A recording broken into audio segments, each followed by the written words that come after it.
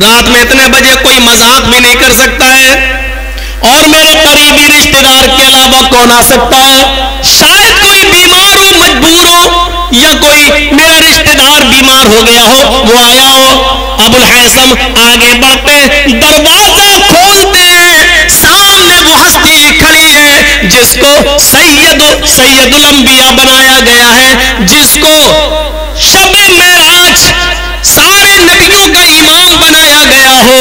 इमाम कायनात खड़े हैं, इमाम सकलैन खड़े हैं, सैयद बुलद आदम खड़े हैं, सैयद सकलैन खड़े हैं, मक्का मदीने की गलियों के सरदार खड़े हैं, मोहसिन इंसानियत खड़े हैं रहमतुल आलमीन खड़े हैं, जनाब मोहम्मद रसूलुल्लाह, हसन हुसैन के नाना खड़े हैं, फातिमा के प्यारे बाप खड़े हैं, आयशा के खदीजा के प्यारे शौहर खड़े हैं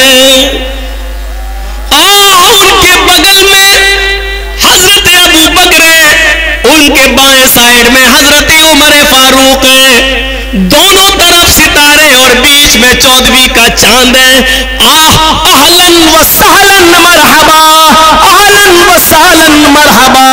मेहमान का ना मुबारक हो। कितने अच्छे मेहमान मेरे घर में आए हैं। कैसे मेहमान मेरे घर में तशरीफ़ लाए हैं? आए उम हैसम मोहम्मद रसूलुल्लाह घर में तशरीफ़ लाए हैं। रात के अंधेरे में चलो, तुम पर्दे में चली जाओ। हज़रत उम हैसम पर्दे में चली जाती है। अल्लाह के नबी अबू बकर उमर अबुल हैसम के घर तशरीफ़ लाते हैं। अल्लाह के रसूल, कैसे आना हुआ? जल्दी से अपने घर में घुसे। कुछ खजूरें रखी हुई थी, कच्ची भी थी, पकी हुई भी थी। हर किस्म की थी, उठा लाए, मिट्टी की प्लेट थी। कायनात का इमाम मिट्टी के बर्तन में खजूर तनावुल फरमा रहा है। ये मेरे इमाम की सादगी है। और सोने और चांदी के बर्तनों में खाने वालों और खूबसूरत प्लेटों में खाने वालों, कभी इन प्लेटों में खाते वक्त तुमने कायनात के इमाम का तस्वुर भी किया कि जिसके तुम उम्मती हो, कायनात का इमाम है। मिट्टी के बर्तन में खजूरें लाई गई। फरमाया, ये नाश्ता कीजिए। अब बताइए आना कैसे हुआ?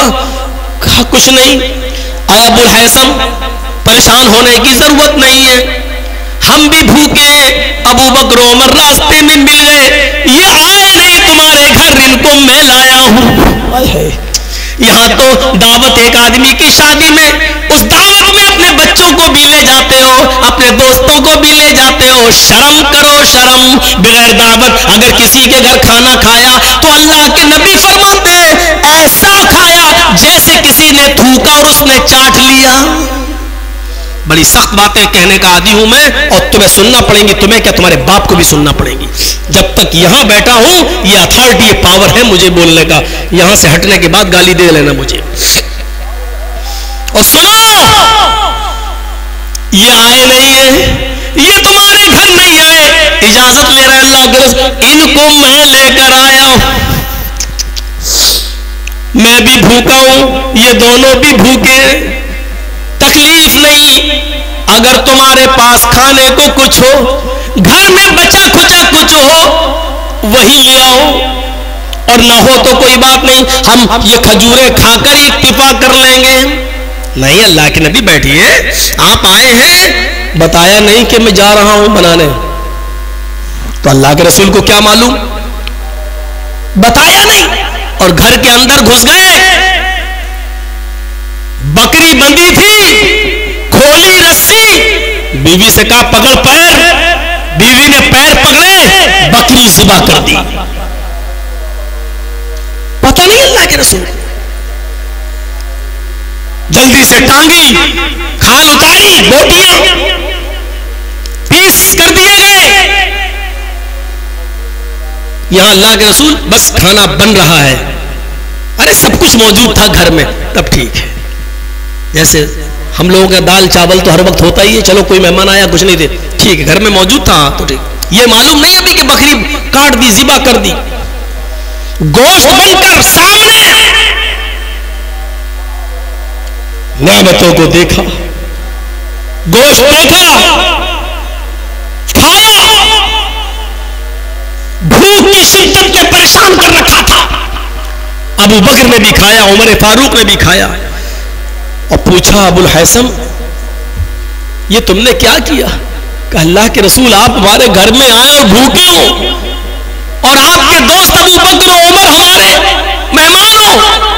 और हमारे घर में बकरी मौजूद हो।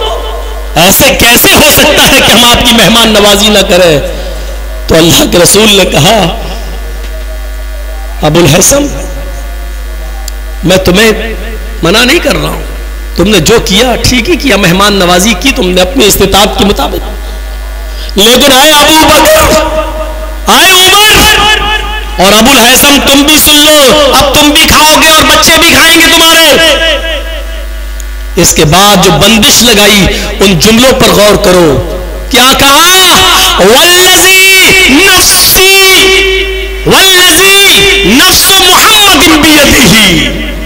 बुखारी शरीफ के हदीस के अल्फाज।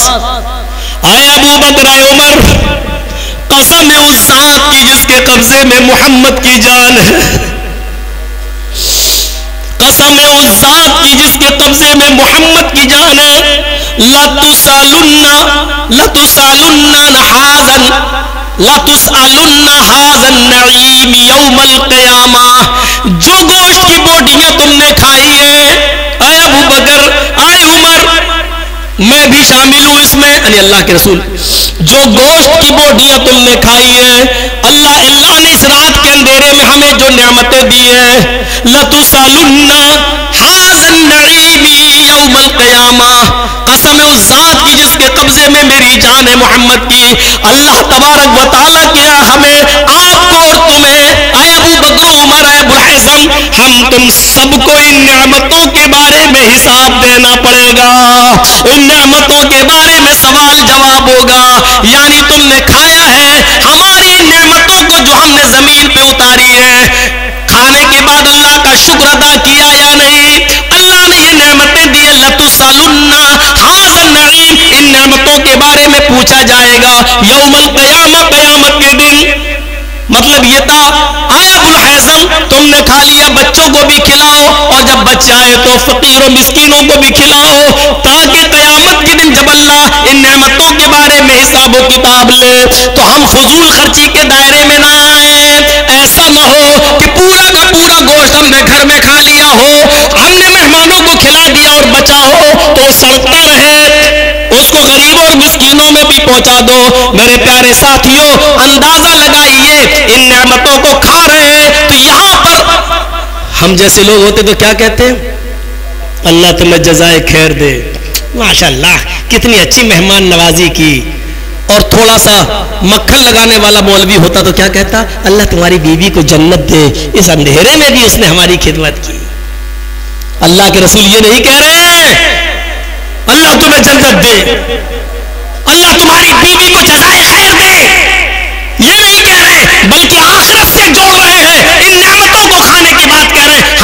ये नियामतें अबुल हसन तुम्हारे ज़रिए हमें मिली। लेकिन शुक्र तो हमें अल्लाह का करना चाहिए, क्योंकि ये तुम्हारे घर में बकरी अल्लाह ने दी है। अल्हम्दुलिल्लाह, अल्लाह तमाम तारीफ़ अल्लाह के लिए। लेकिन तुम्हारे लिए नसीहत है आए अबुल हसन आए अबू बकर आए उमर, और आए मोहम्मद, अरे अपने आप को भी सल्लल्लाहु इन नियामतों को जो तुमने खाया है, कयामत के दिन तुमसे सवाल किया जाएगा। पूछताछ होगी कि तुमने शुक्रिया अदा किया कि नहीं किया।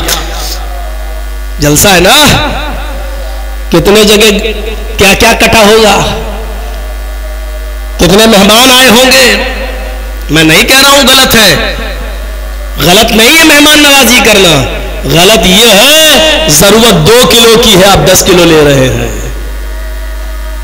गलत यह नहीं है मेहमान नवाजी करना।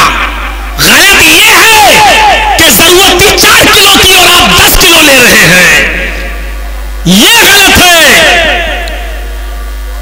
अभी एक दो और वाकया सुनाऊँगा आपको। ये तो उन्होंने नबी अकरम की मेहमान नवाजी की तो अल्लाह के रसूल ने वार्निंग दे दी। और कहीं आजकल की तरह हिसाब किताब होता,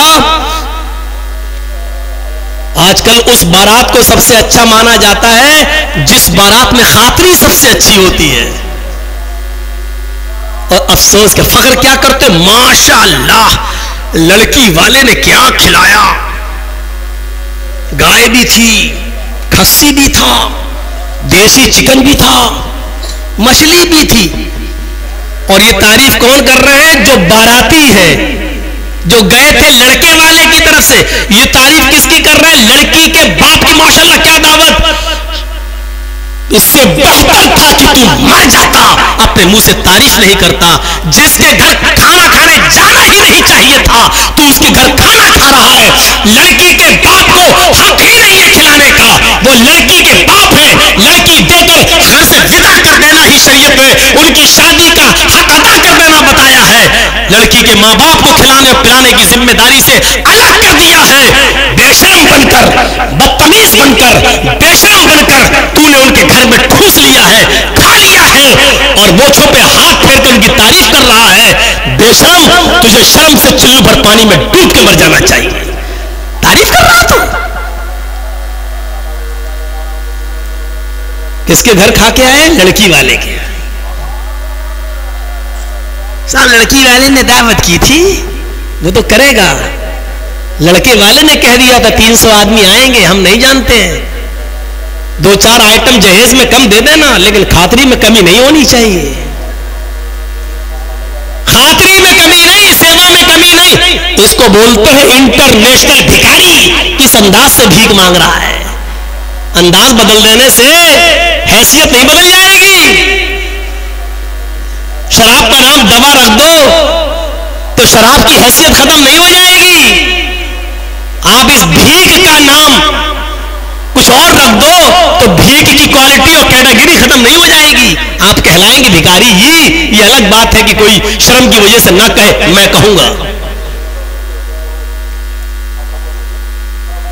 देख रहे इन नियमतों के बारे में तुमसे सवाल किया जाएगा। कपड़ा लेके घुमाइए ना, बाद में कहोगे कि हुआ ही नहीं। ग्यारह बज गए। आप लोग डालते जाइएगा, मस्जिद का मामला है। एक दूसरे वादे की तरफ़ हम आपको लेके चलना चाहते हैं।